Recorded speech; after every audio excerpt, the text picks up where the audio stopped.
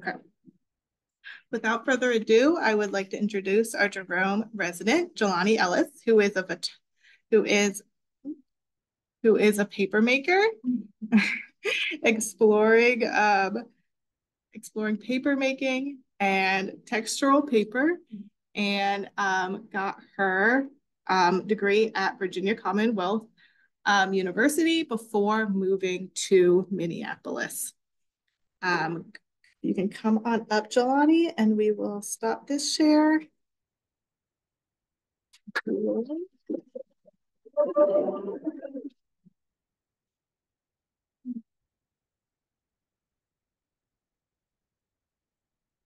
I didn't say it.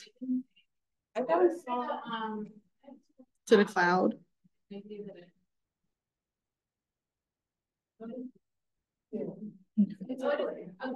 Sorry to interrupt. Okay. It'd be tragic. So I get the, you gotta double check.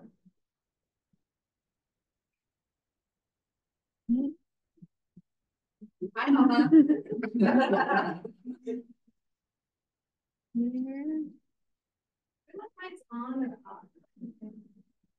How do people see the screen?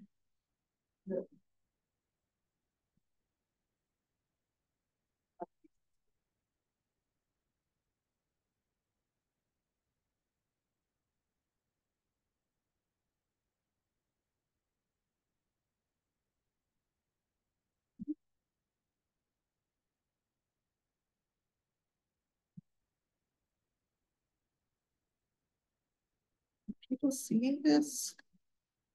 Who are screen sharing? Stop sharing. Okay.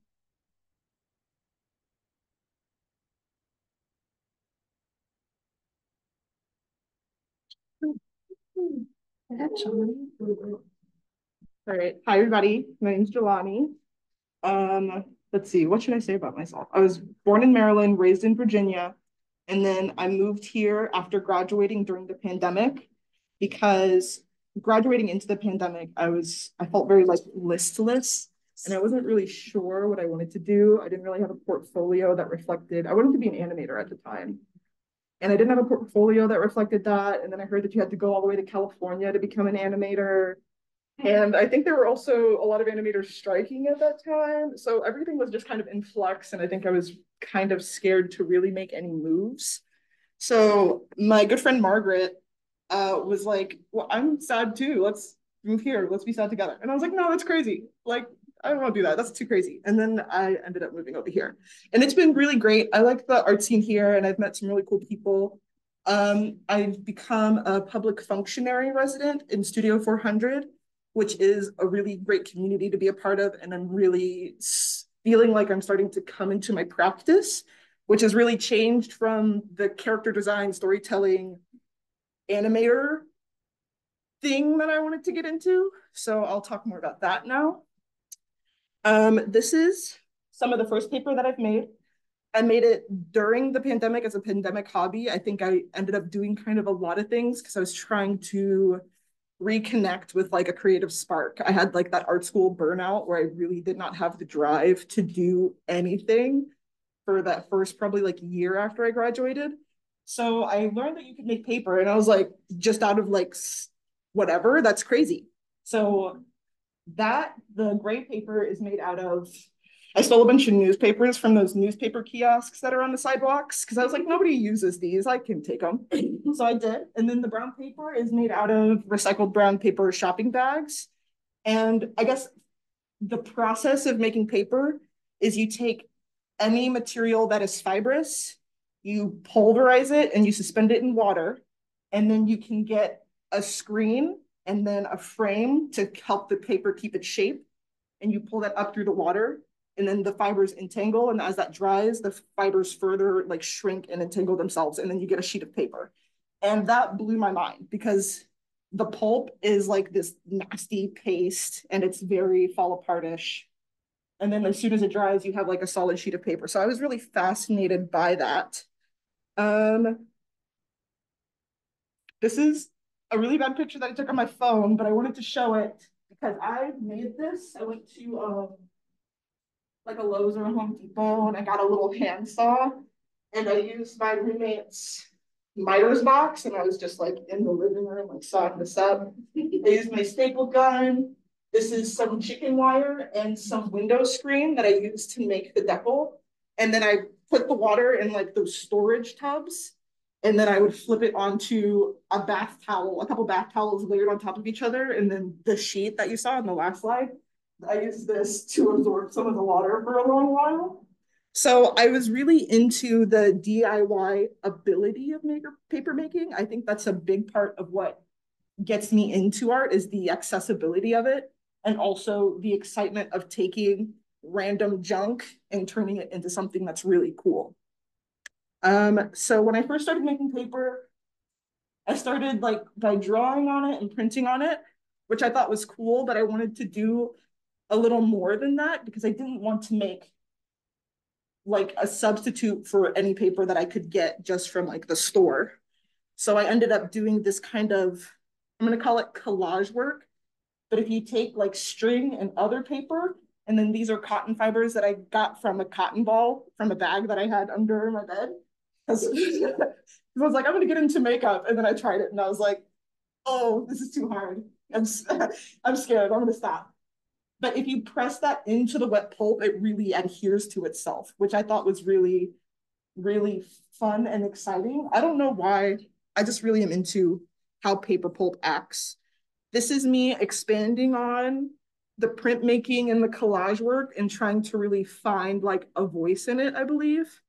So this is a linoleum print that I had made just randomly one time and then some letter stamps that I had. So I wanted to see what I can make out of that. Um, in the middle, you can just, I put it in like my inkjet printer and printed some Phoenix clip art that I'd found on Google just to see if I could. And then I ended up making that into a frame and then framing a print that I made on another sheet of paper. And then with this one, I cut out little peepholes and then pasted paper of different colors on the back. So I was really having fun with this process. And then out of this came these two, these are my darling babies who I love. The one on the right, I was so like delighted by her.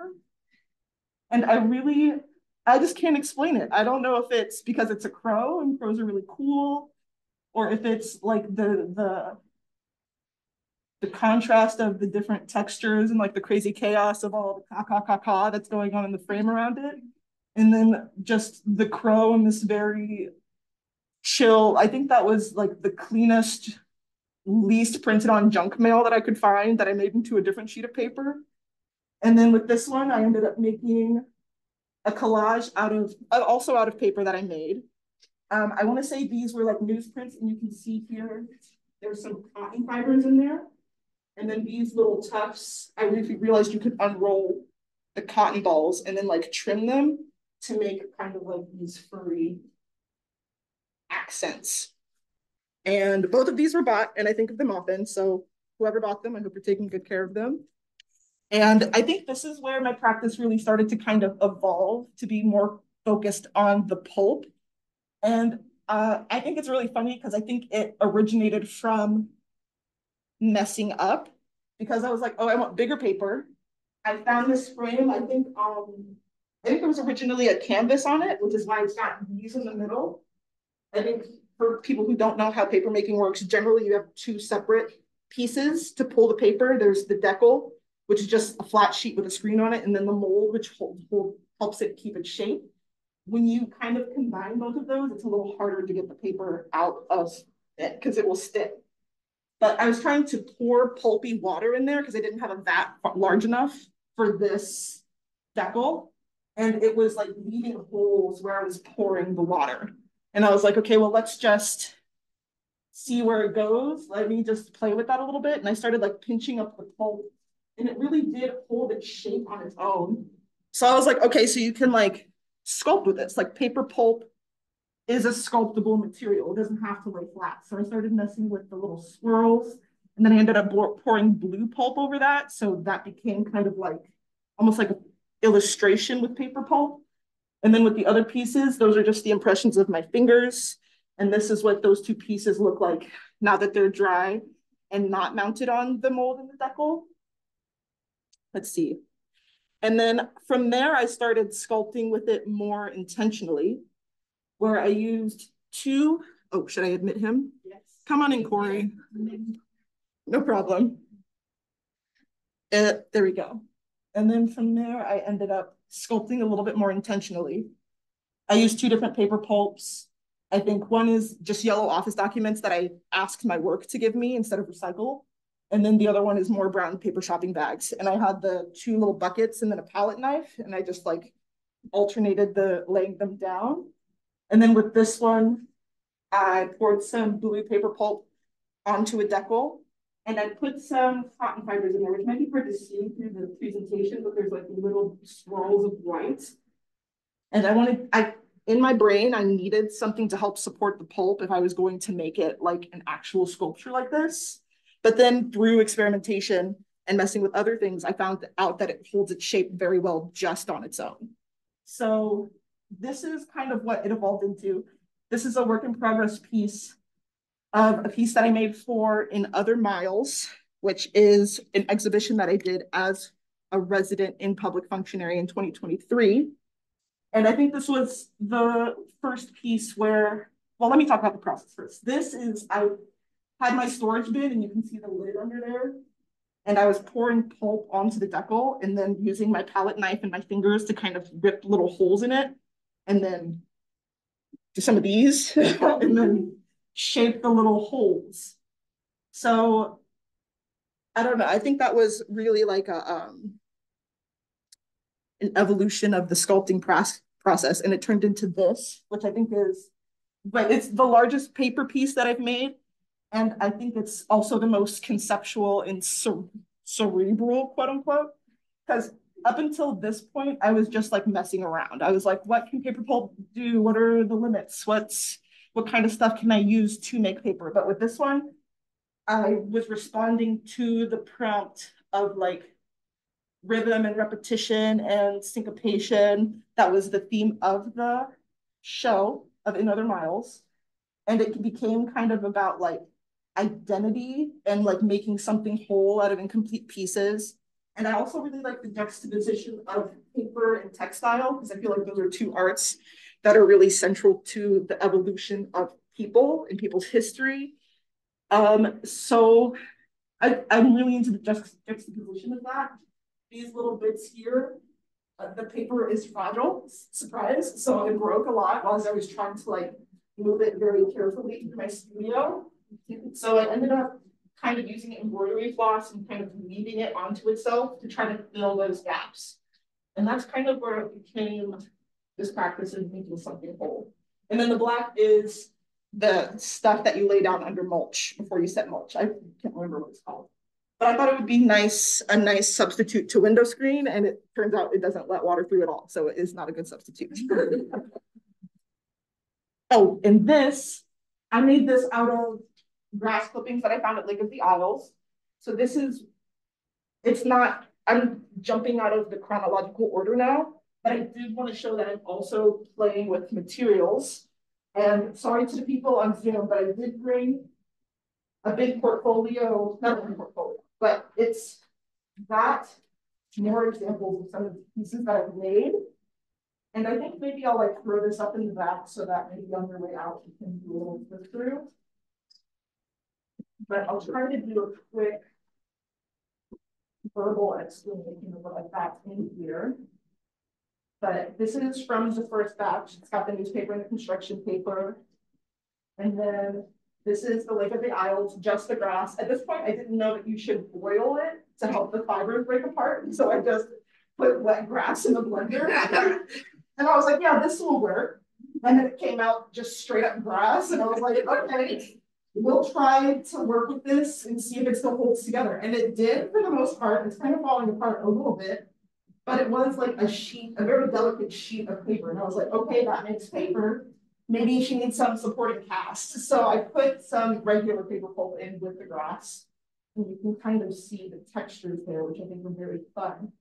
And I think it's also really fun how the materials that you use kind of make the piece. Like this is a very Minneapolis piece, like people who are, I think I have some friends from Richmond who are watching who don't know what Lake of the Isles is. I think everybody in Minneapolis knows what Lake of the Isles is. It's where people go and walk around and ogle all of the rich people's houses. Let's see, I made this out of junk mail. I had blue and yellow office documents that I blended together and I was like, will it make green? Like, you know, blue and yellow makes green, but will it work the same way with the paper pulp? It does, and then you can see the little flecks of the blue and yellow documents in there, which I think was interesting. This is yellow office documents, and then this is junk mail and brown paper kraft bags with pressed lilacs and some moss leaves in there, which I think is also, I, I'm interested in how the materials form the identity of a sheet paper, if that makes sense. So that is where, excuse me, where I've been going with the paper making. Keeping that in mind, I'm going to kind of change gears a little bit. I'm going to talk about people watching and sketching, which is kind of like a new angle that I'm trying to bring into this project. So in my sketching, I think for me, it's like a way to engage with the people in the spaces that are around me in a way that is very comfortable to me. I don't know if it's like a social anxiety thing, but I think I'm more comfortable sometimes just sitting and observing than I am like throwing myself in there. So in doing that, I kind of like I can remember being at this trombone recital vivid, vividly because I took these sketches and I really like the field journal vibe of these, the notes about how this guy was staring down the pianist, waiting for his signal to turn the page. and I think that relationship between them is very nice. And then this little flick of his wrist, I remember very specifically that his little pianist elegant flick of the wrist that he would do every time he lifted his hand. And this tuba player was really he was like almost caressing the tuba as he was playing, which I don't know if that's how tuba players generally play, but I thought that was a fun quirk that that I I wanted to record. Let's see, and then here I was at my sister's basketball game at UBC in 2019, and I think I kind of wanted to show this to kind of show the iteration that kind of I use iteration in my practice a lot to kind of pin down what I want it to look like. And then I the time and then get it gets bigger. It's not really exactly what I want it to be, but that might just be because I'm very self-critical. I think a lot of artists are. And so I think doing iterations like that help me let go of perfection and be like, well, this one doesn't have to be perfect. I could just do it again if I need to. And I think with this piece, I really wanted to talk about this guy here because I feel like it's kind of, it feels central to how I sketch because he was admiring the ocean and I was admiring him admiring the ocean. And I think that's kind of what sketching is. It's kind of like, it is a bit of admiration for like little individual quirks that maybe you can relate to or that you just find interesting. And I think that that is kind of the reason why I like to sit down and sketch. It's kind of creating connection with strangers in a way that is, I don't know in what way exactly, but it's comfortable to me and it's unobtrusive. And I don't know, it's kind of like you get a little tenderness. People are nice, you know what I mean? So it's like falling in love, I suppose, with like these little glimmers and individuals. Um, and then this is just, I do this a lot. So not as much as I want to, but this is my dad, and this is my sister, and this is my other sister. And not pictured are my other sister, and then my mother. so shout out to them. I do still love you. I just didn't draw you on this page. Um, I want to talk about these little silhouettes I thought were really interesting and how you capture. It's not a portrait, it's like capturing a vibe. You know what I mean? I think that's the difference in sketches and portraits to me. In a portrait, I feel pressured to capture a likeness.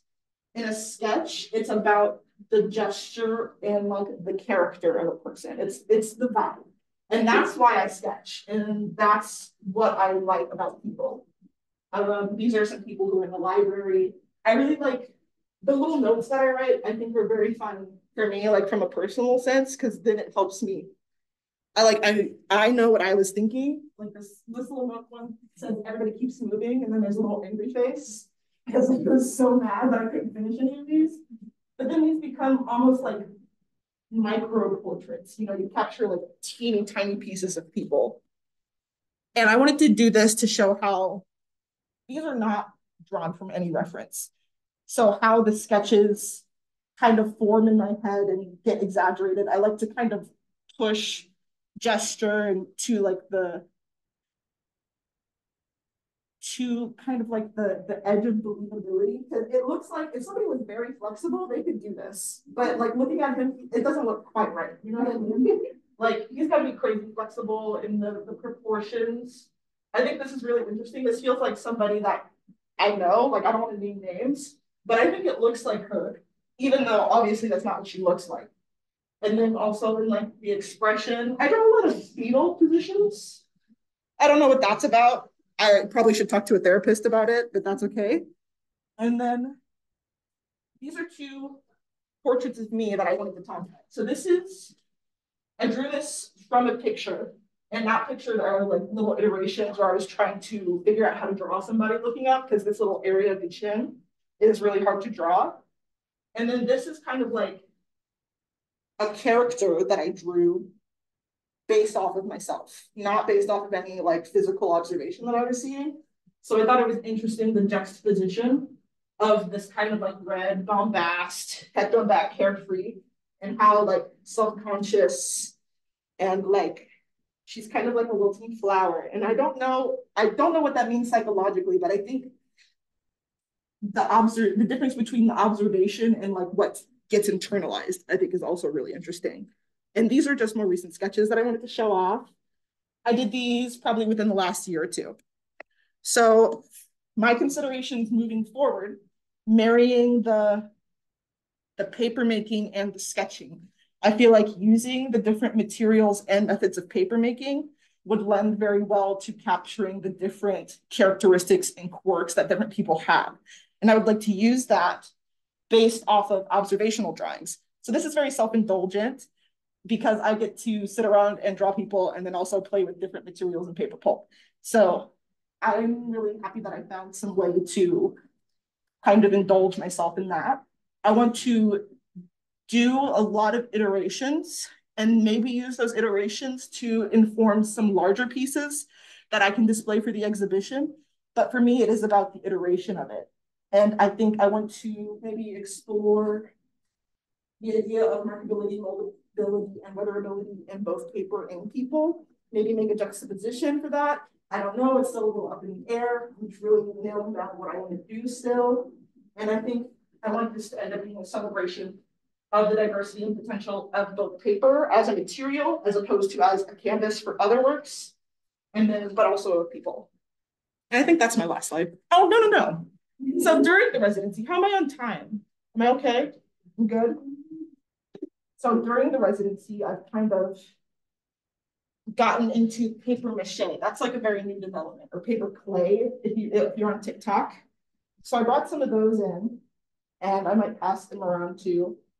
And I brought in this is just paper pulp that I put on the deckle and like some of this until it stands up, and it holds its shape together really well. So I don't know if I should pass that around or if it should just put that on the back so that people can have a look, see, because I think that's something that I would like to in my exhibit. I think paper is so tactile, and I think if my work is about connecting with people, I would like people to be able to connect to my pieces through touch, but I have to figure out how that's going to work because paper is fragile and breakable.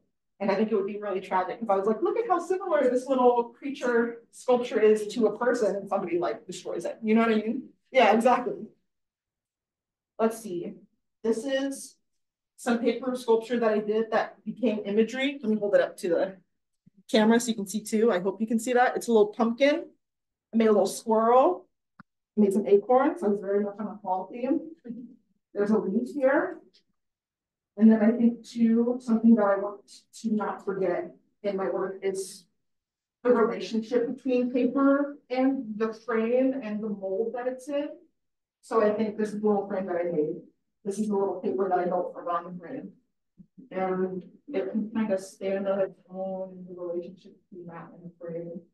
It's something that I would like to figure out how to do with people with this project. I don't know how. So I think that would be interesting to it.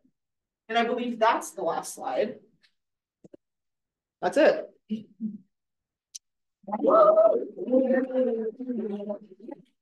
Thank you so much, Jelani.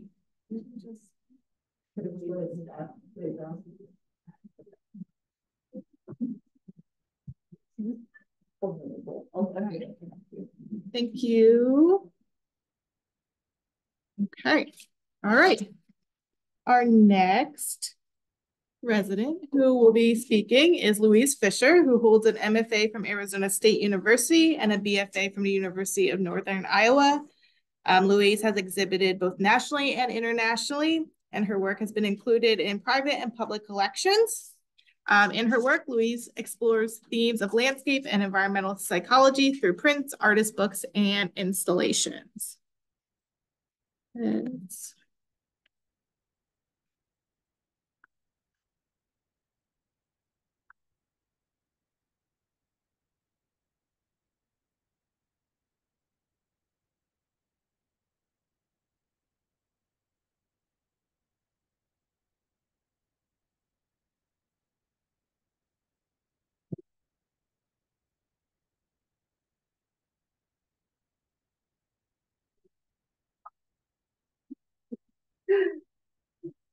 Um, we have to go to presenter view, right?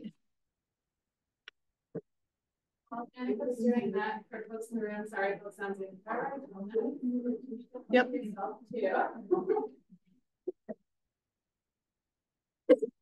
Do you know how to go to presenter view?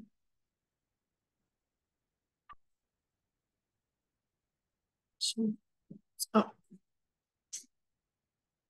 Is that what you wanted? Have to No. No, What if it's slideshow? And then, um, yeah, they, but can they see the whole? oh wait, no, Yeah. they shouldn't be able to. Great, okay.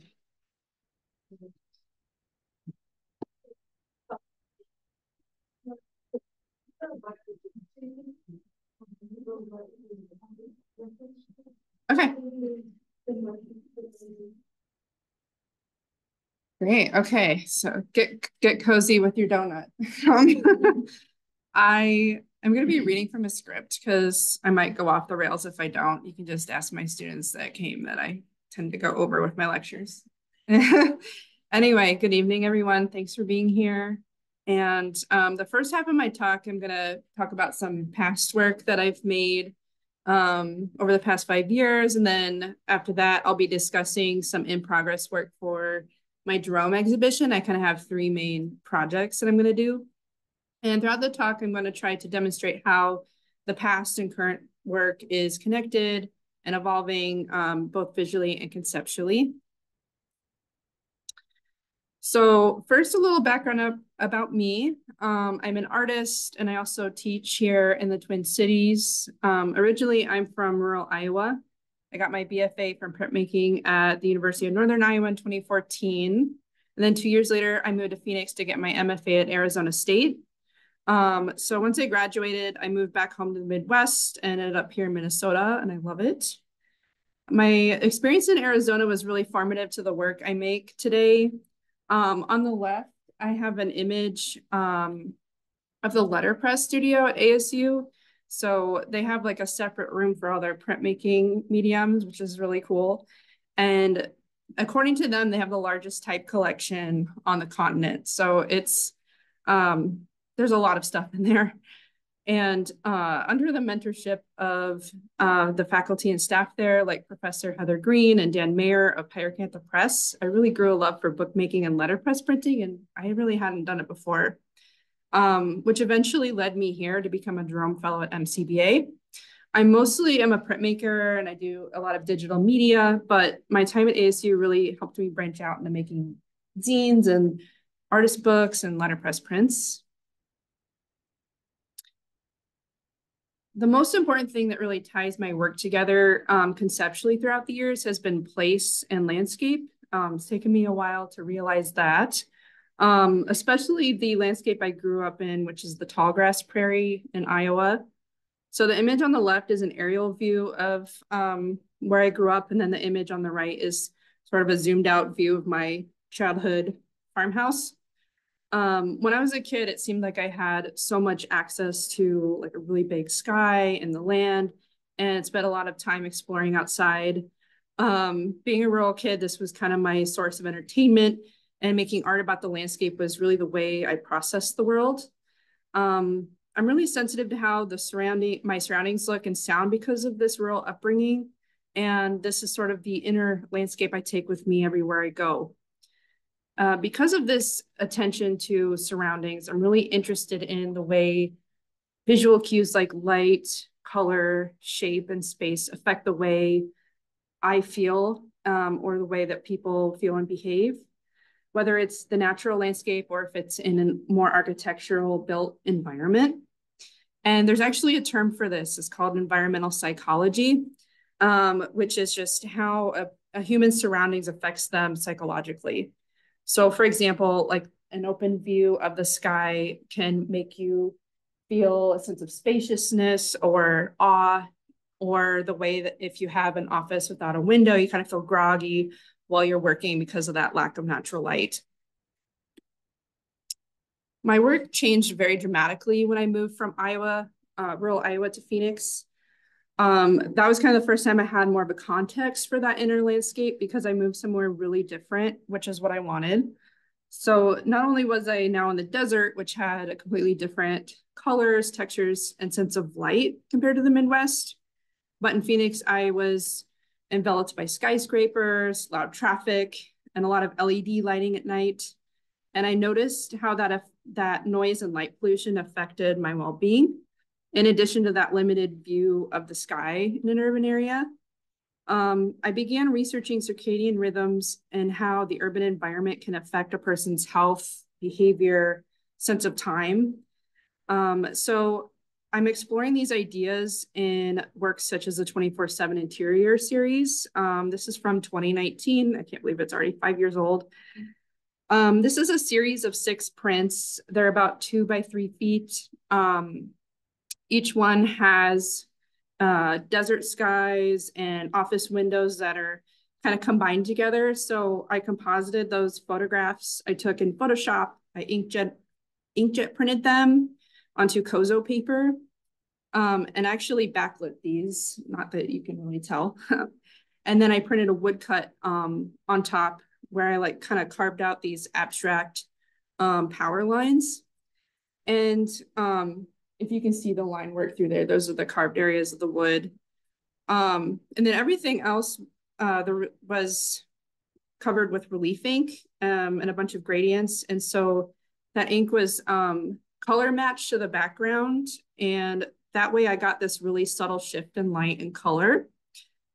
The source imagery was taken from excursions to the Sonoran Desert into downtown Phoenix, where commercial buildings left their lights on at night so this was my earliest exploration of natural versus architectural space, color, and light in my work.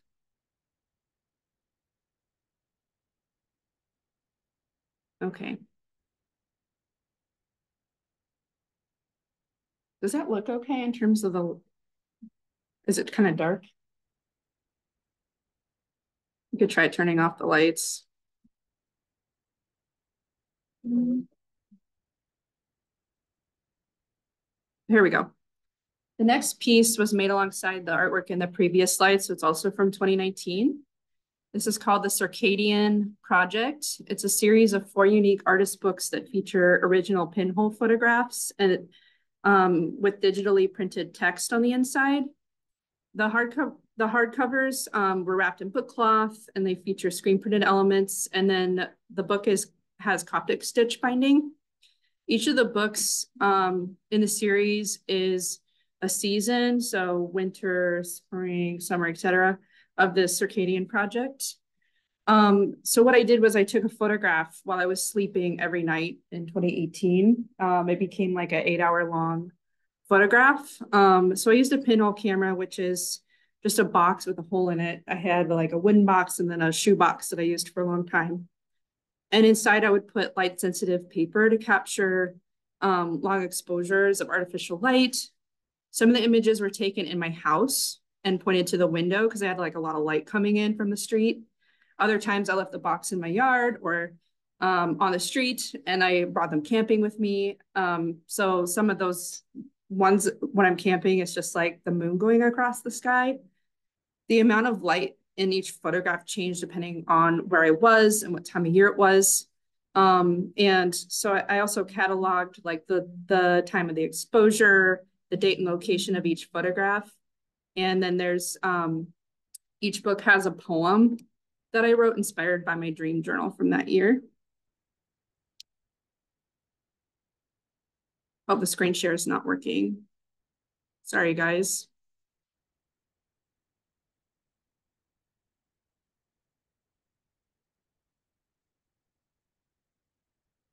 Someone in the chat, let me know if that looks better.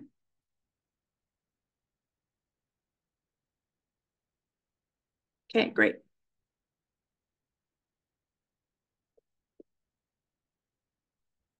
Okay. There we go. Um, Every Corner is for Sale is uh, from a series of three prints that combines images of skies and downtown apartment complexes in Minnesota. The, the first layer is digitally printed with woodcut and screen print on top. In these pieces, I'm continuing to think about how light interacts with the inside and outside of architectural spaces. And the title refers to the sky being like the last frontier for sale for humans. Um, for the past five years in my work, I've been deconstructing and dissecting sky imagery with these architectural shapes to convey an idea of a barrier or a threshold um, to the natural world. Um,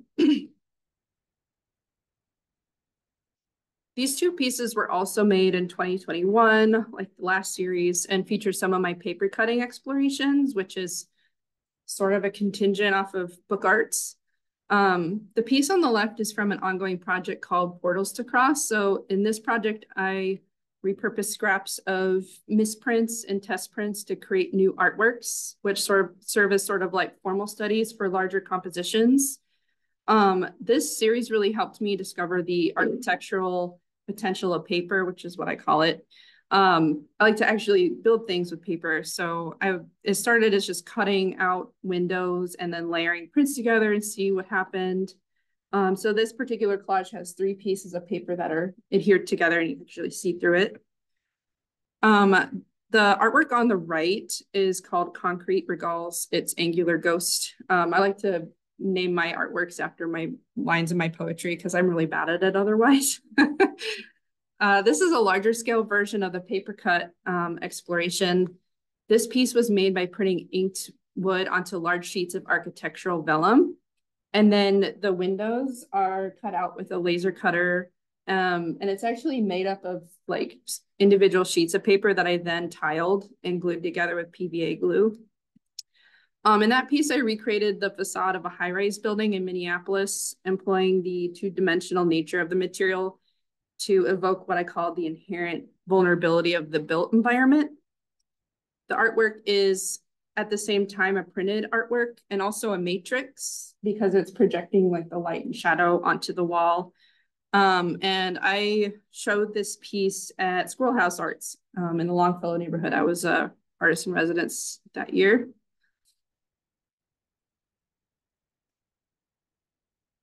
Okay.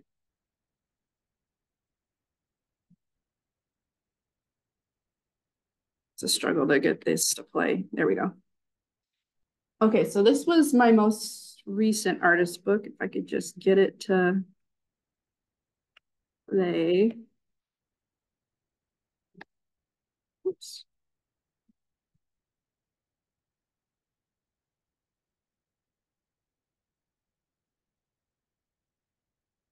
When I click, click play, it does nothing. Okay, we got it. I just had to click 10 times. That's all. okay. Uh, so this book is called The Dream Bank. Um, it's a book featuring my own collection of poems inspired by dreams that I've had.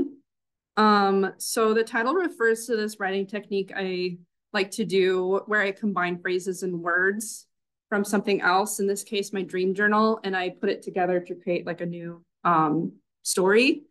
This book was um, funded and supported by a residency for book artists and printmakers at the Grand Center for Arts and Culture in New Ulm. I really recommend it. Um, the cover was screen printed, it has like this abstract image of fire. Um, and then the four poems are printed with handset type. Each poem is accompanied by an illustration that's pressure printed. Um, a few of the illustrations include stained glass window and a possum on fire because I, uh, you know, had a dream about that.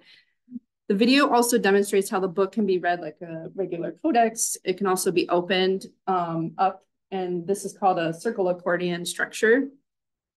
Everything about the book, like the colors, the circular structure, um, the imagery, all conveys an ephemeral dreamlike world where nothing begins or ends.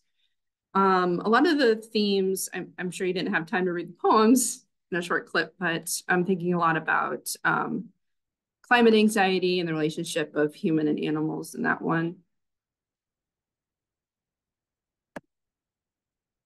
So now I'm going to start talking about what I'm working on in progress. I've never given a talk on like in progress work before.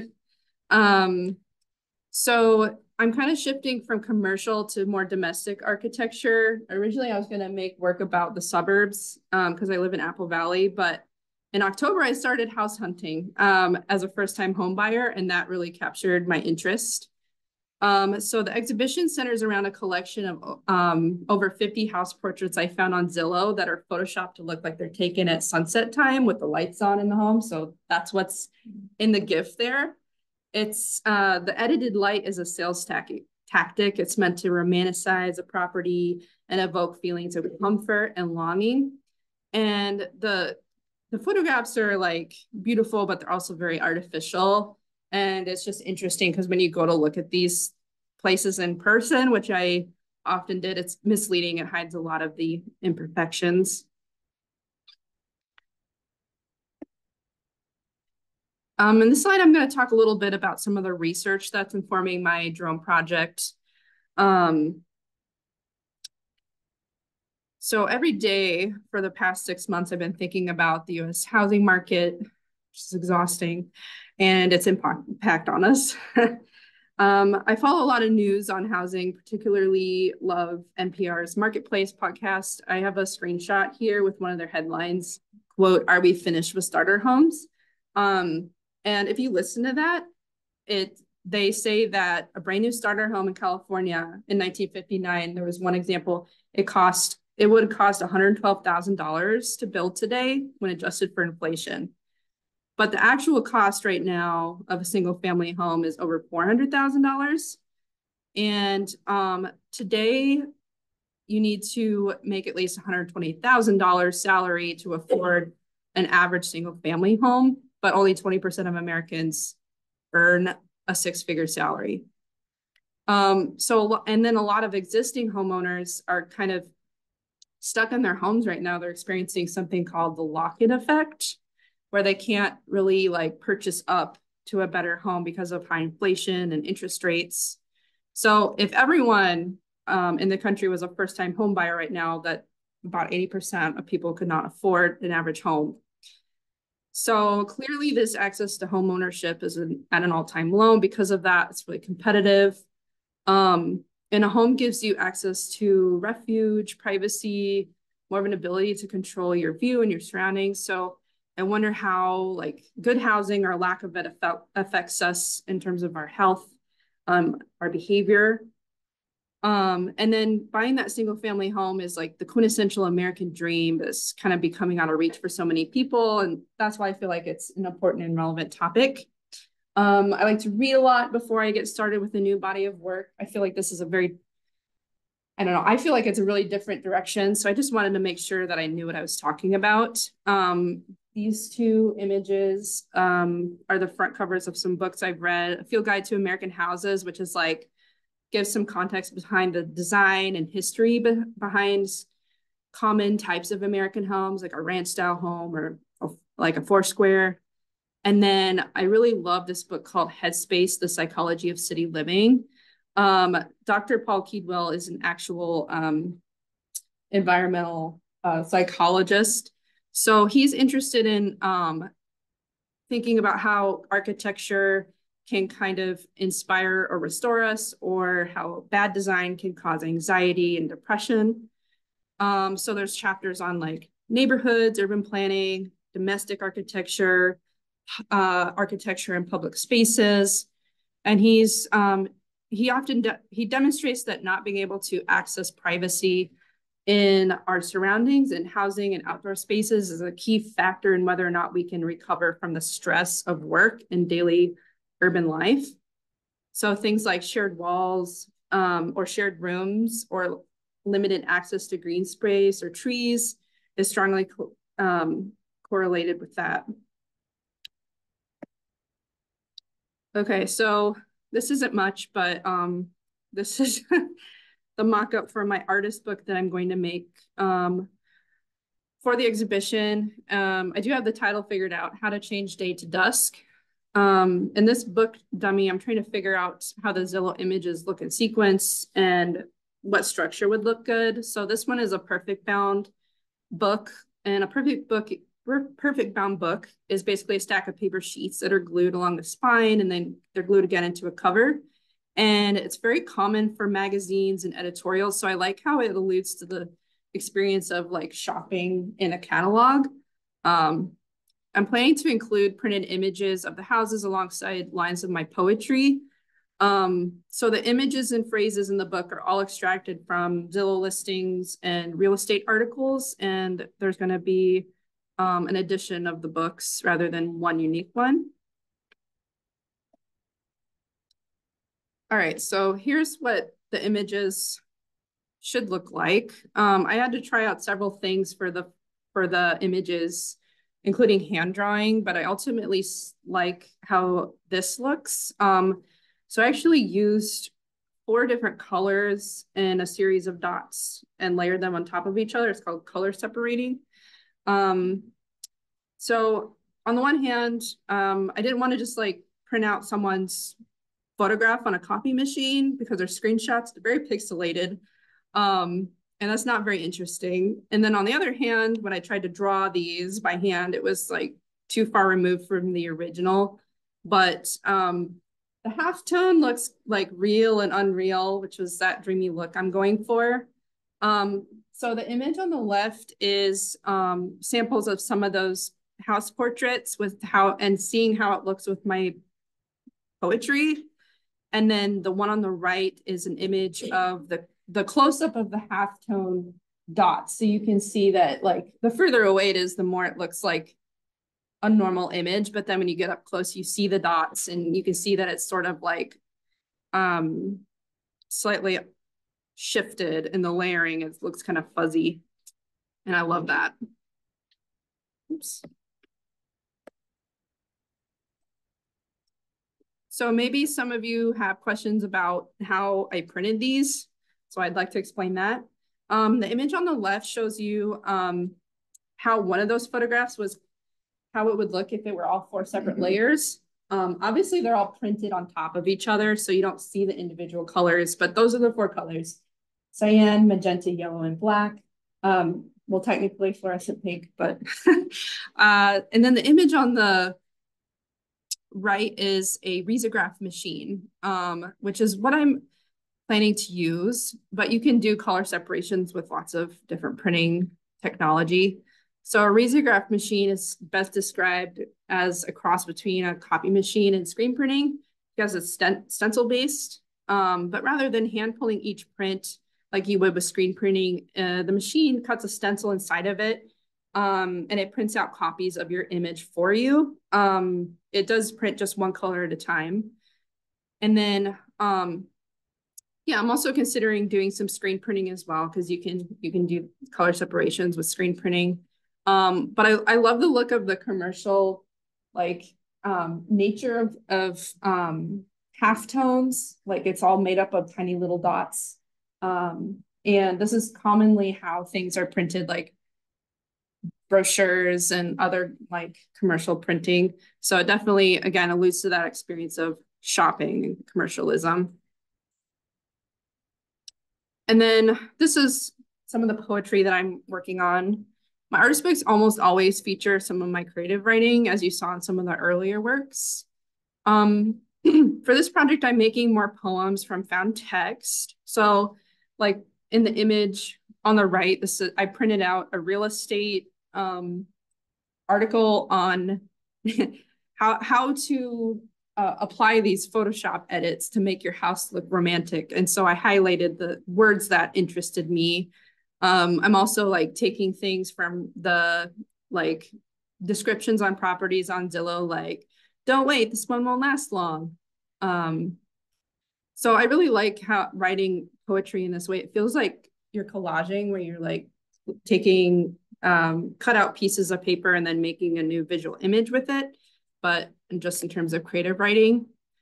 Um, so the lines of the book, or sorry, the lines of the poem will be featured throughout the pages of the book and kind of broken up in the pages. Um, and some of the text will be printed with letterpress. Alongside my artist book, the exhibition will feature some three-dimensional pieces made from printed paper. Um, I'm pretty excited about this. For um, I'm very much a 2D artist and struggle to think dimensionally. Um, however, I've been learning, uh, as I've been learning more about book art over the years, I feel like my hands and my brain are kind of getting it now. Um, so I'm I'm branching out more into 3D stuff. In the past, I've worked with cutting paper, tiling paper, with that um, architectural potential of paper thing in mind. Yet it's never really made. I've never made something in the round um, so that's um, what I'm trying to do now. And I think this residency has the right amount of support to kind of push me into making something more 3D. And I just recently took a, um, a pop-up book workshop, which was really helpful, just figuring out how to fold and glue things. Um, and I really like the idea of trying to make something 3D from a photograph to make it more real and attainable um, and this is also, I guess, my way of building more affordable housing. Uh, the images um, on these pieces are, again, my own photographs um, of clouds, and this printed on matte photo paper. I'm planning to have several different pieces like this displayed on a light table, um, kind of like you see in the, in the photographs, so that it glows from the inside, um, just like the Zillow um, images. And so for these pieces, I'm like making a template out of cardstock paper, tape, and an X-Acto knife. And then I can um, trace it and then cut it out and fold it from a printed image. Um, the little piece on the left, even though it looks like um, like a miniature house, it's actually a mudroom from a front porch. And then the one on the right is a roof with a dormer window in it. Um, yeah, I'm kind of interested in like little architectural details. And then I think I'll make some that are actually full 3D models of house. Um, and that cloud imagery and the lighting um, is symbolizing the like this longing for the American dream.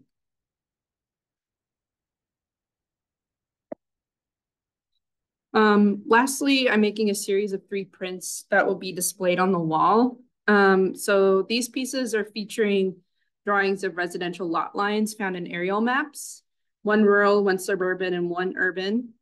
Um, for this series, I'm using a map of rural Scott County, um, so like Prior Lake area, a map of the suburbs in Apple Valley, which is where I live, and then a map of um, the uptown neighborhood in Minneapolis. And what I'm interested in in doing that is how the lot lines make different shapes based on where you live. And I just wonder how that affects um, the people that live there. So urban lots are really rigid and uniform and narrow, and they're arranged in like blocks, like rectangular blocks. And then this, in this drawing, it's actually the suburbs. So they're pretty uniform, but they're arranged in curves because there's cul-de-sacs. And then the rural lots are like really large, but they vary in size. So they feel kind of more natural, I guess. Um, and I'm thinking about how urban design affects the residents. I'm thinking about land ownership and how that's part of this American dream. Um, so again, here I'm using my sky photography to allude to that and the access to space. Um, the drawing of the lot line map is a mock-up for another layer that I might do on the print, or it could also be like two pieces of paper on, on top of one another like this, but I, I'm having fun kind of filling in some of the shapes so that you can't see through them and then cutting out other ones. Um, just so like there's selective parts of the sky that you can or can't see. So again, just saying something about um, access to nature, how much of it do we see or not see? Um, okay, so thank you everybody for being here and for listening to our talks this evening. Um, I also want to thank the Jerome Foundation because this has been a great and supportive opportunity and my colleagues um, in the front row and everyone that works at MCBA have had a good time so far. Um, if you want to keep updates on the project, you can um, follow me on Instagram. The QR code is to my Instagram page, and then my website's there. That's it. Thank you so much.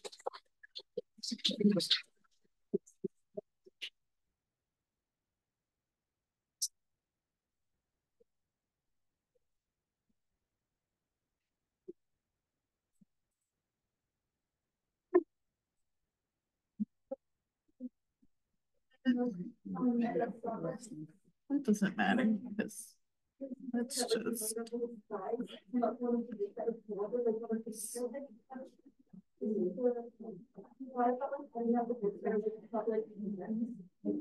Yeah, that would be nice.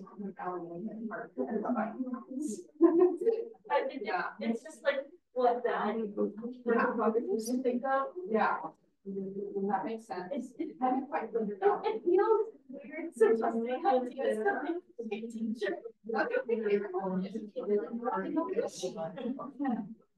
And it's, it's in progress.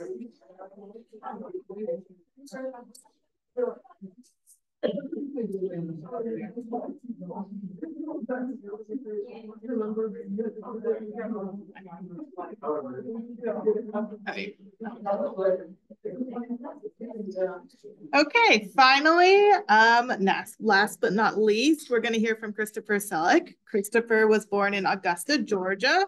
He received his BFA in photography from University of Minnesota and his MFA in visual studies and photography from Minneapolis College of Art and Design.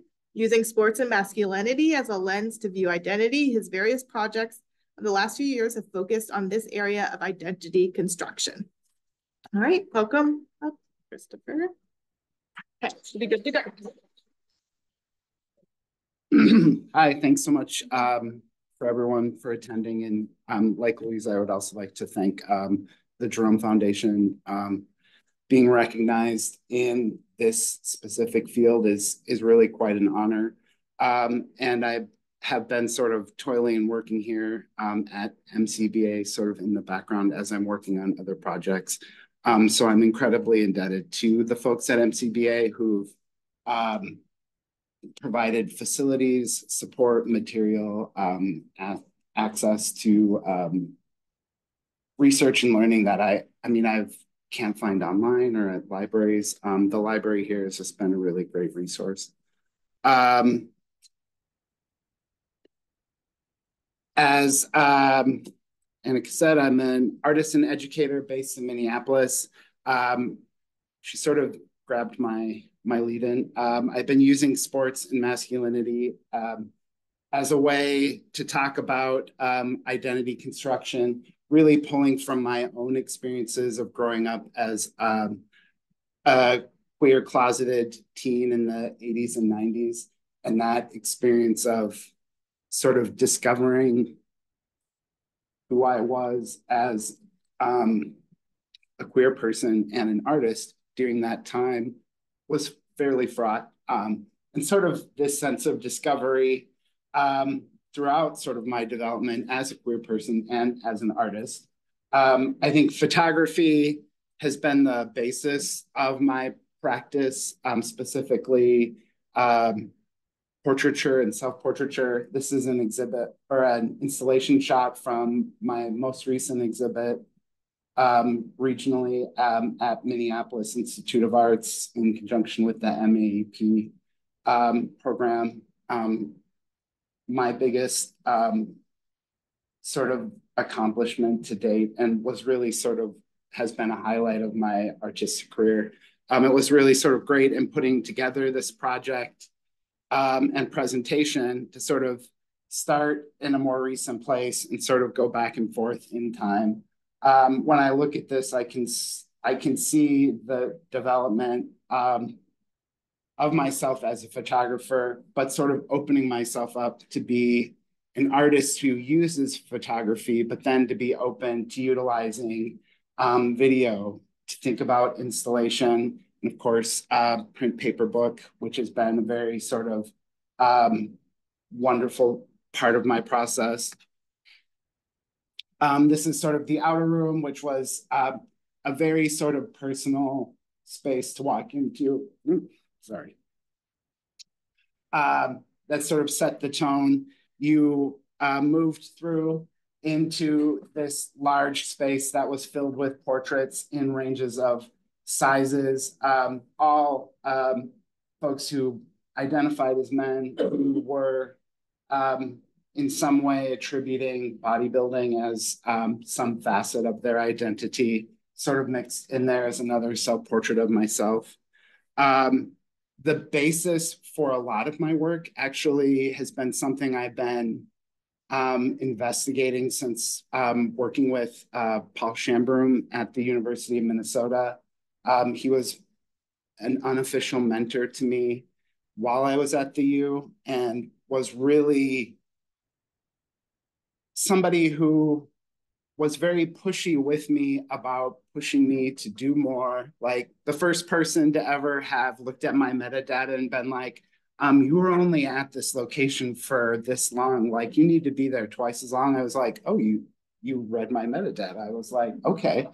Um, and in that sort of um, space, um, I developed this first project that I um, called um, Sports Complex um, Protection.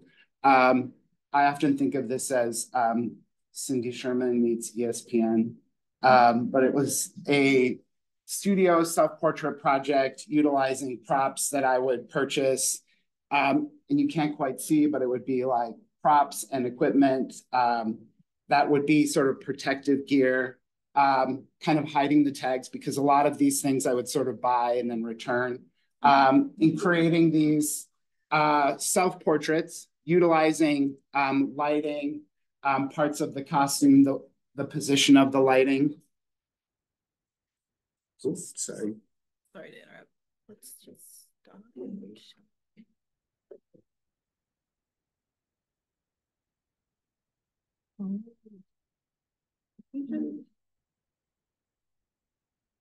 Bearing the sleep. It goes on even more. Seeing More donuts. Bring it every opportunity. Okay. I don't think so. It should just come up. This one's like. So I was at a talk at MCAD like during my MFA, and there was somebody visiting who for whatever reason, the projector kept starting and stopping. Like I cannot remember, he's a colleague of Katherine Turczan's. I could not remember this artist's name, but the slides would start and then they would stop. And this artist was just so calm and collected. He was just like, okay, like, here we go. Um, and I just remember watching that and just being like, I mean, I we were I was sharing with Louise sort of earlier um this like oh public speaking it's like dread and it's like as educators like I mean I spent three hours sort of off the cuff just talking with students about portraiture and photography to then sort of come here it's like talking about myself seems okay Okay, they see it now. I think we just had to restart it for some reason. All right. Okay. Continue. Sorry for. Yeah, no worries. Uh, so yeah, this was um, a self-portrait project. When I look at this, I can see what I really wanted to do was to sort of connect with other um, athletes or um, men who sort of participated in some of these sports who use sports as maybe a way to sort of um, be an overarching um, part of their identity. But I, in seeing these self portraits, I can also sort of recognize this apprehension and sort of fear in my own self of wanting to sort of engage like that and really utilizing myself as a model as a way to sort of hone my craft of um, portraiture and photography and sort of develop confidence in my abilities and in sort of my own sort of identity and sort of personhood. Um, this was really uh, pivotal for me. Um, this project um, paid, I got a scholarship that sort of paid for half of my senior year based on this work and really has been this space that I've sort of been able to grow from, the sort of impetus coming from this um, encounter or a recollection of an encounter when I was a small boy being bullied by neighborhood kids and coming home and my dad being like, why are you here? Like, go out and be a man.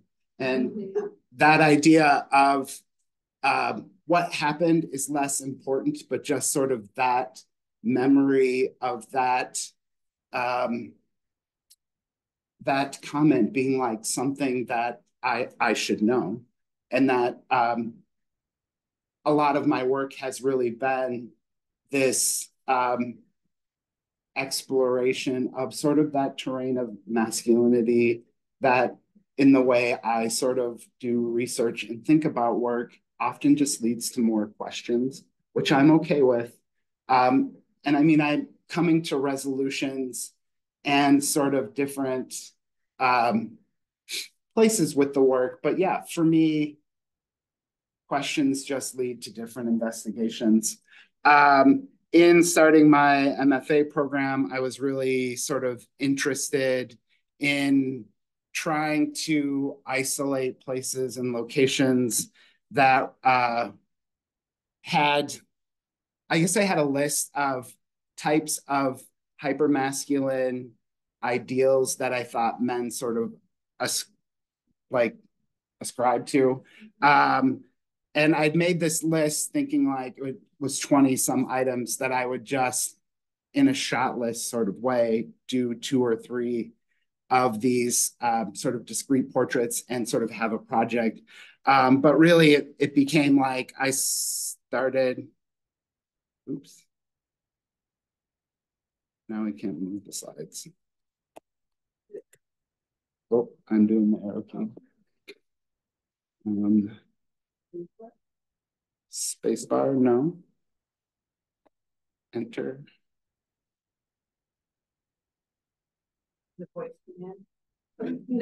Siri, next slide. No notes. Uh,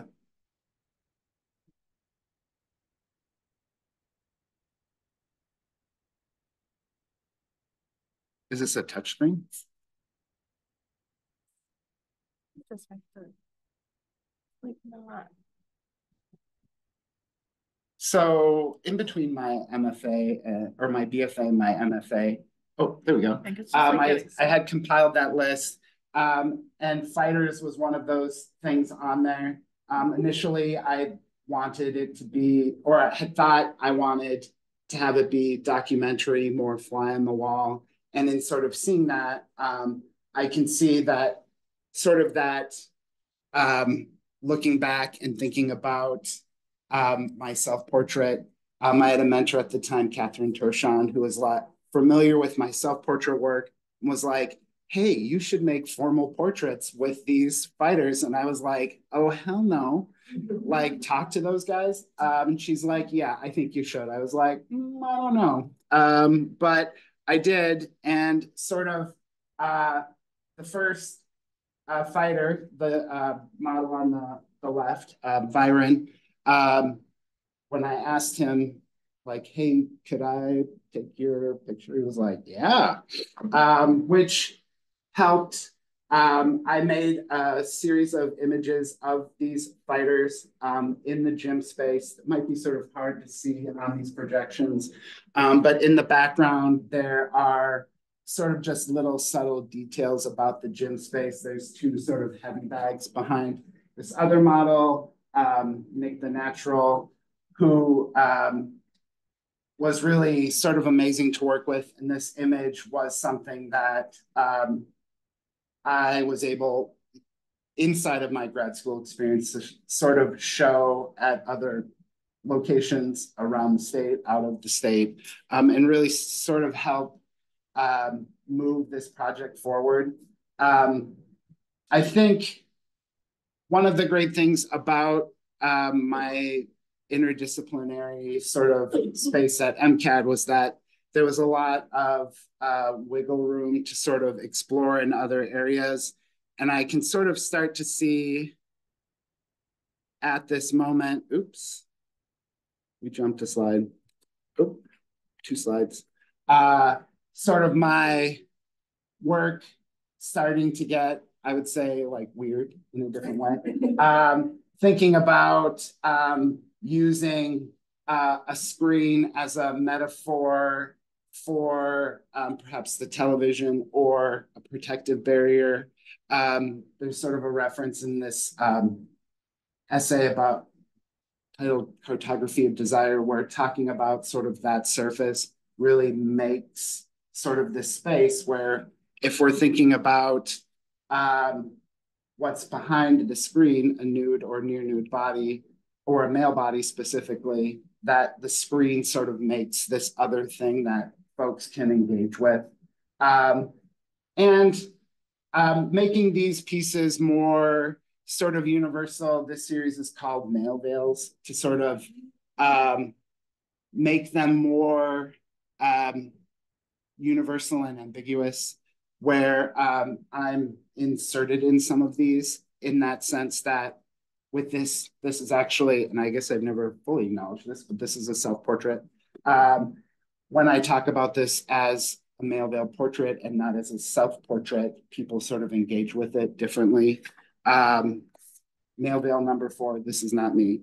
Um, uh, also sort of really push that um, sort of incorporating some of that elements of um, desire and eroticism um, sort of allowed me to sort of be thinking more conceptually and re sort of imagining things that I had encountered and remembered growing up. Um, photographing the TV um, as a, a way to sort of recollect um, things that had been sort of living, sort of uncategorized in my brain, I guess, for a way.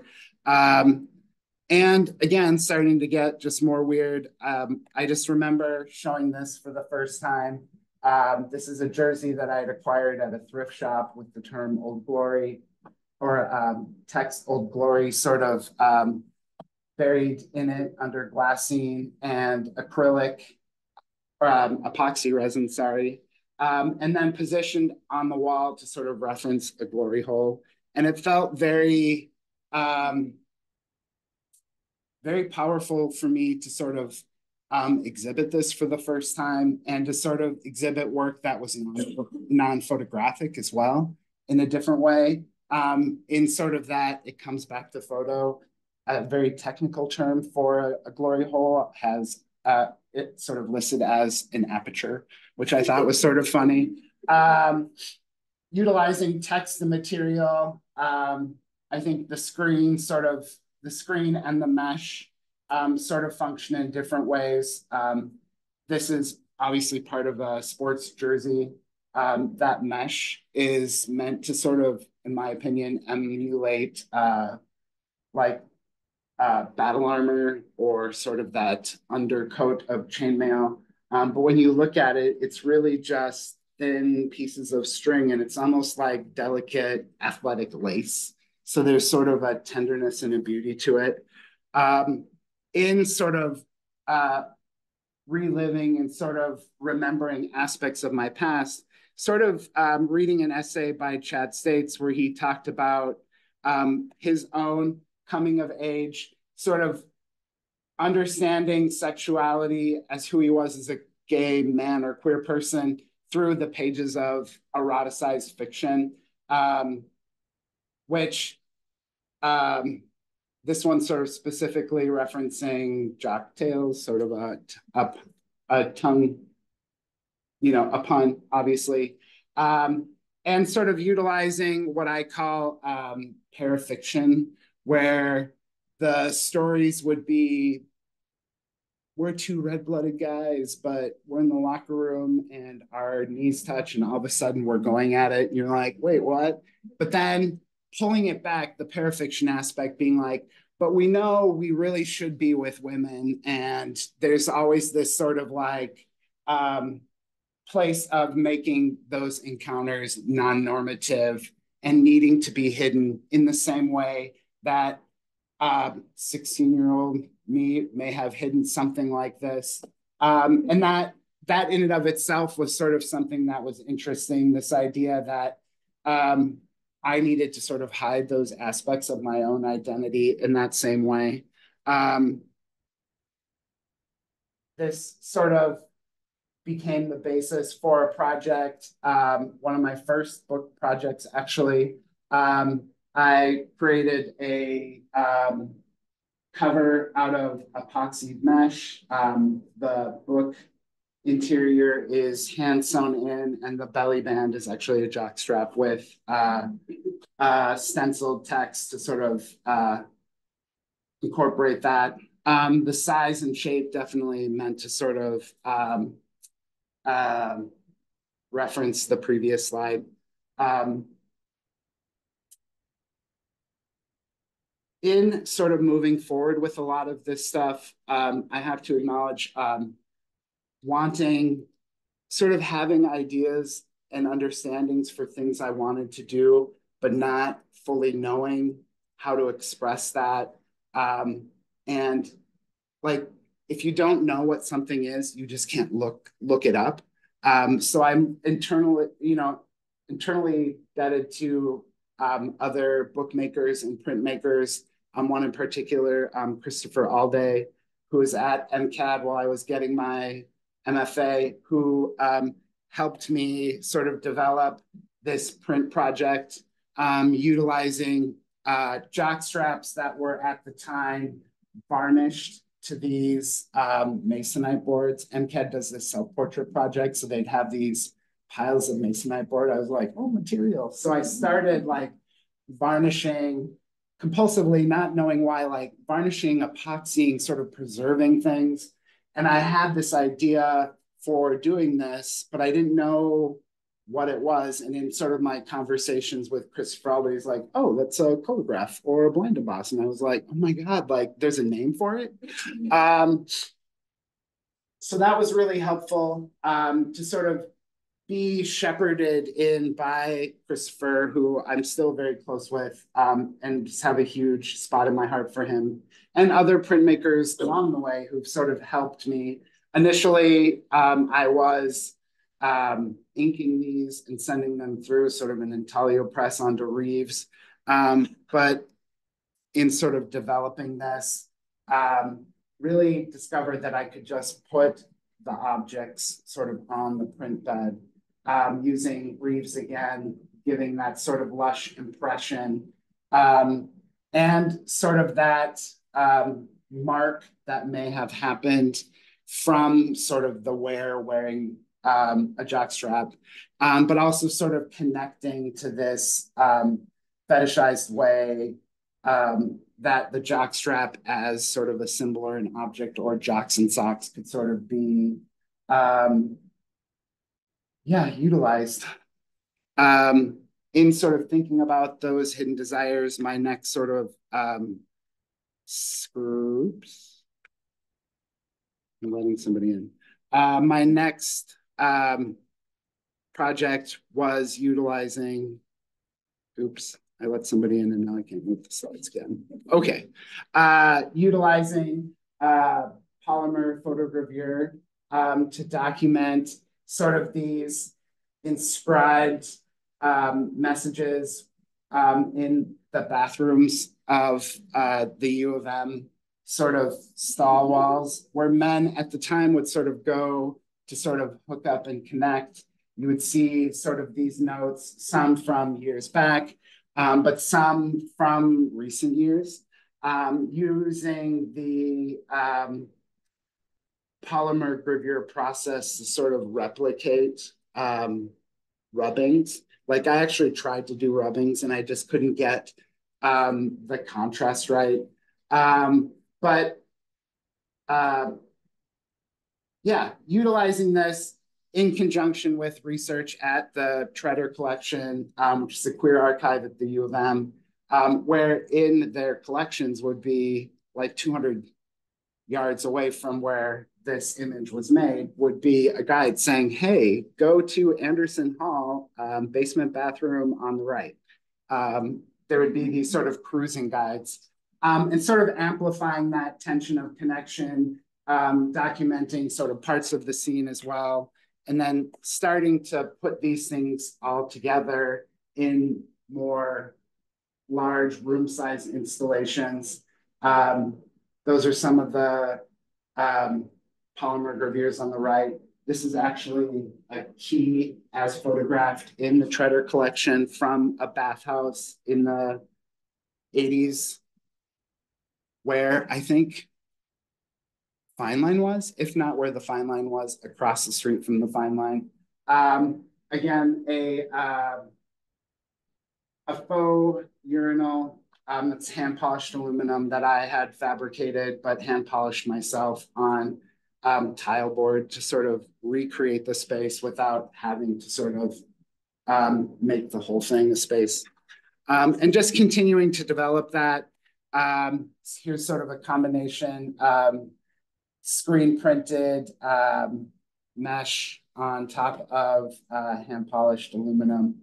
and really a, a, strategy that I've used throughout a lot of my career is been uh, working on one project or one sort of vein of thought for a while. And then when I hit a roadblock or sort of come to a point to stop and put that back, um, the thing that I do always come back to um, in my own personal work, and this sort of connects back to the project that we saw at the beginning, my Mia show, is portraiture.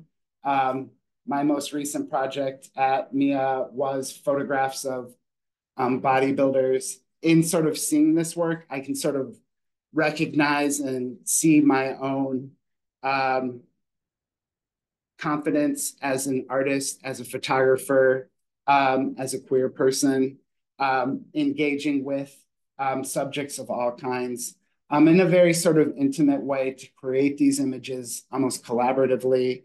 Um, the models would come from open calls. They would almost self selecting, they would reach out to me. Um, and I would sort of uh, utilize my studio space um, to create these portraits. Um, the models sort of looking back as a reference to you looking at them.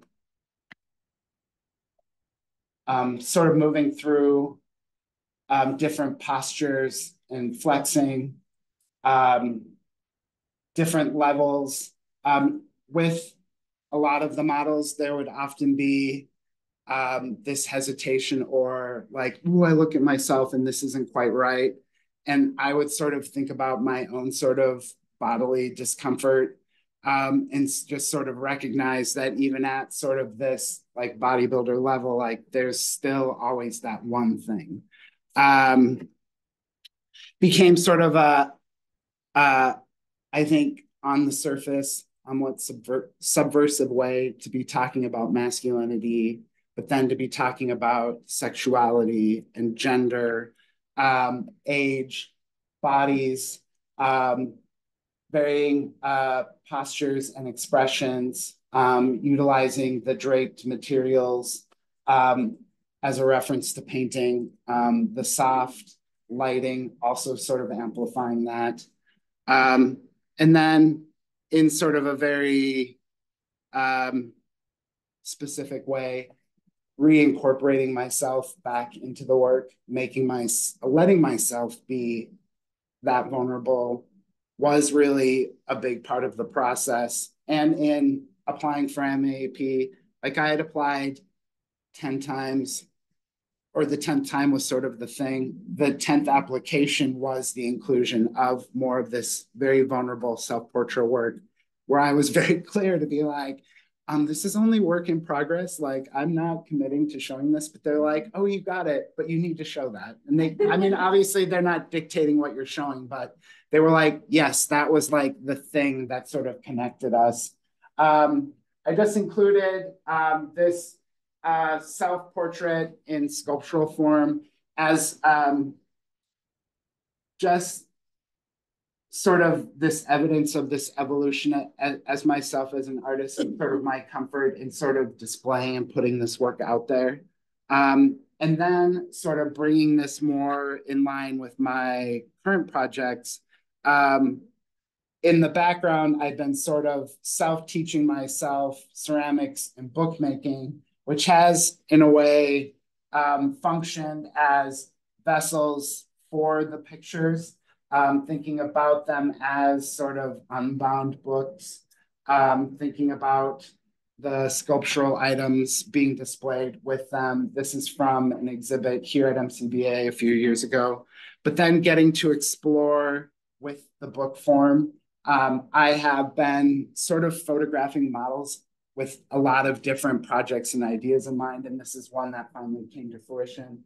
Um, it's an accordion book with a blue velvet cover where we see sort of a flex sequence of this model um, sort of going into sort of this apex of a form, but then sort of retreating, um, sort of recognizing that that flexed pose that he's in at the apex is not something that he could hold indefinitely, and that there's sort of a, a fleetingness to it um, the book form itself flexes and moves. Um, and it's it's been just a really great way to sort of um, be working into the book form. Um, a lot of this stuff I've been self teaching myself, but getting a lot of insight and feedback on.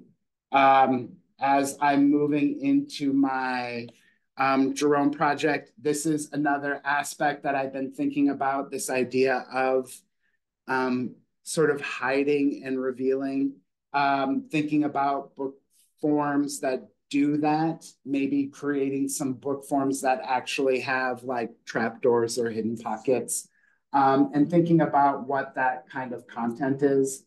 Um, part of the experience with this um, fellowship that's been so invaluable has been um, uh, just the feedback and conversation um, where like a thought that sort of came up with this was like, oh, it is sort of revealing. There's almost sort of a, a pulling back that's sort of happening. Um, so getting to have these really great um, discussions and encounters with people who can help me sort of verbalize these ideas that have been just sort of living in my head.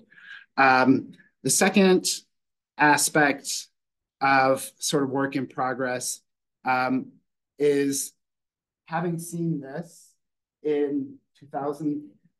I had to look this up. This has been something that's been living in my head since like 2013. I saw this at MIA as part of um, a 3D multiples show. It was really sort of, um, I think, referencing um, Duchamp's, and this is going to be terrible, Boîte en valise. Um, my French is terrible, sorry. Um, but sort of uh, box in a suitcase. Um, this form, when I saw this in the gallery, like I went back and saw this two or three times. This is Tom Rose, who's a professor, now retired from the U, in collaboration with several people, including folks that I've discovered somewhat recently that were collaborated here at MCBA. Um, the project, Arthur and Barbara, is really sort of about this couple and their space together um, in their apartment on Riverside Drive, objects, ephemera, a CD, um, a book. Um, and, and just thinking about this project, like I applied to MCBA Collegiate Award with a different variation of this. Um, but um, since then, um, I've been sort of working with a collaborator, um, Erin Morali, who's been super helpful in helping me create bigger forms that my own skill set doesn't fully allow me to do, which um, has been really sort of the great um, thing that I'm sort of getting to do here. Um, what I'm hoping to do is create more objects like this as part of my installation. Um, here for the exhibition this fall, um, incorporating objects, my sculptural works. Um, the working title for this is Unbroken. Um, it's uh, three trays. A middle tier that's not pictured would have sort of a different accordion book that's still sort of in process. Um, but working with her, um, Erin Raleigh to sort of fabricate this has been um, really amazing and helping me sort of develop um, a language and an understanding that I didn't previously have with um, book arts. Um, in just even little encounters where it's like, oh, do you want this kind of a thing or that? And I was like, oh my God, I didn't know that was a question. Like, let's talk about it. Um, so being able to develop that understanding of very specific forms and how different choices, I mean, really will, um, in the end, sort of uh, hopefully culminate with beautiful objects like this that again will sort of be revealed. Um, yeah, that's my last slide.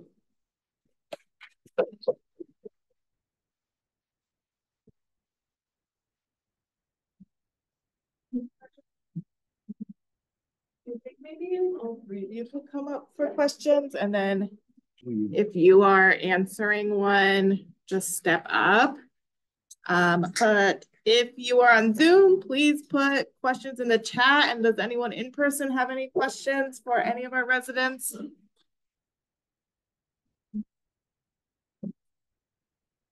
And just so you all know that they mentioned their exhibition will be opening in November of this year. So please come back for that and see these projects finished. Plenty of time. Yeah. Any other questions? I, I knew one of the people before. Oh, really? Yeah. Uh, which model? It was, um, he was like in the sky, um, he has a big tattoo on his chest, he was. Uh, Long Joey. Yeah, yep. Joey, Joey Gaines with a Z. Games, yeah. Um, one of the great experiences was getting to actually share the gallery space with a lot of those models, and that uh, model actually showed up sort of on one of the last days, and I was in the gallery by myself, and I turned around, and he walked in, and he was like, I mean, he had continued to sort of um, continue developing sort of bodybuilding look completely different. It was like really sort of a great experience with many of these models to have them sort of reach out um, and connect back. Probably a lot of straight cis men too. I feel like I. And. Their space so, I don't know a lot of straights. They're okay. Um, they're okay people. Um, and I think that's sort of an interesting thing that we sort of attribute that to that sort of um, um, I don't want to say profession or occupation, because um, many of these folks are sort of queer identifying, um, which is sort of interesting that there's sort of a back and forth there where um, that was sort of a common question or reaction that I would was getting, but it was like, well, actually, but yeah, no. Yeah, that was definitely a negotiation and sort of a conversation that was really weird up front with just photographing some of the models where it's like this almost hesitation when because my ask is kind of terrible. I'd be like, oh my god, like you look amazing. Oh, and they're just like, dude, back up.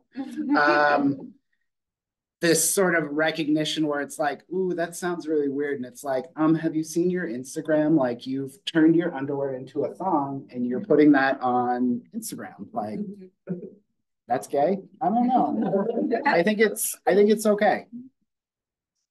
Sorry, I keep moving in and out. Um, how is your level of vulnerability different when you're approaching your self-portrait in like different forms and stuff? Or is there a difference? I mean, there, I mean, it is. There's sort of an ambiguity that it, I think sort of in the other forms like that sculptural piece, it's, it feels a lot different than when I look at that um, photograph of me holding the plate, sort of intentionally covering parts of my body. Um, yeah, I mean, there feel it. There's sort of a comfort there that exists, but also sort of a hesitation in sort of venturing into other, like I often say, like other people's spaces. Like I'm not a sculptor, and I, you know, but I make sculptures in the same way where it's like I don't think of myself as a printmaker, but I make a lot of print work.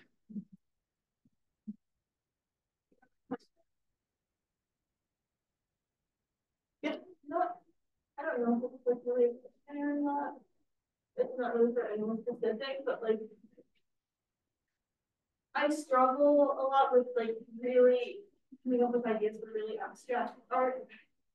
How do you I noticed that like one of the things that I'm found was that like a lot of your art was like really more like abstract or metaphorical.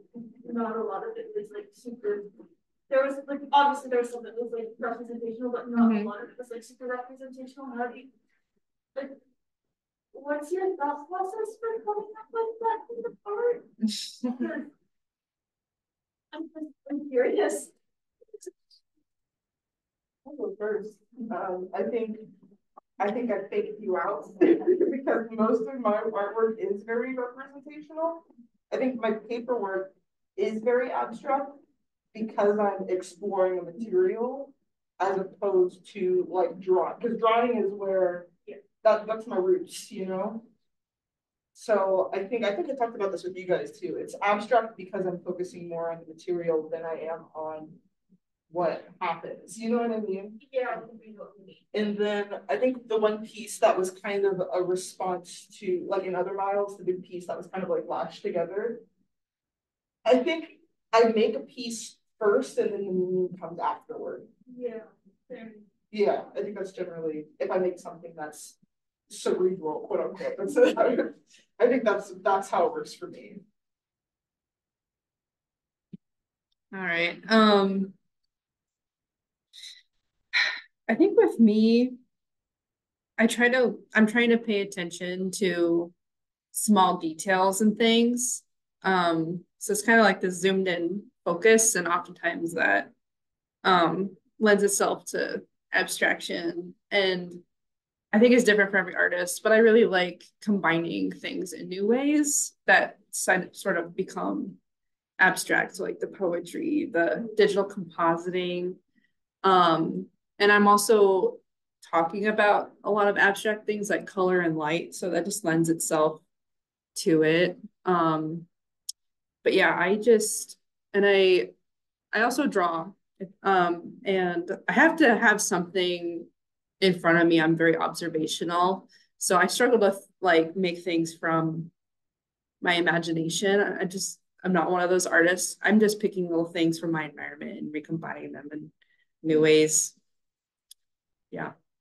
Yeah, and I mean, I think even just in thinking about all of our work, like in just what we presented tonight, there's a lot of exploration where I mean, my studio is half full of failed experiments. And I can imagine like not every time you pick up paper or a pencil or whatever that it's success, where it's mm-hmm. like, oh man, I spent three hours and this is hot trash, you know, and it's just like, I'll just put that aside because as soon as I throw it away, then I'll be like, oh, where's that blah, blah, blah. And it's like, oh, I threw it away. So I have sort of this like mm-hmm. ordered regret sort of process as part of that, I guess. But just keep trying and keep, yeah, yeah. imagining things. And like Christopher's also thinking about the symbolism of materials and objects too. And that looks really nice alongside the more representational portraits. But, yeah.